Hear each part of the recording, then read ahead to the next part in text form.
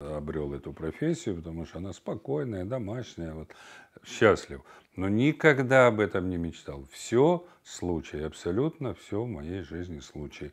А, началось с того, что мы студентами поехали, как обычно, на картошку там убирать, да, пришлось, а э, причина главная лень, я очень не хотел этого, не умею, гвоздя бить не умею. Я записался в агитбригаду, э, чтобы, значит, э, ездить по колхозам и развлекать своих же студентов.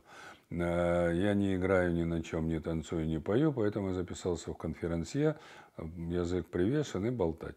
С этого началось. Значит, надо было для агитбригады писать тексты, Потом вернулись в институт, сделали студенческий эстрадный театр, потом нас заметили на Харьковском телевидении, потом пригласили. И так все шло абсолютно э, волей случая.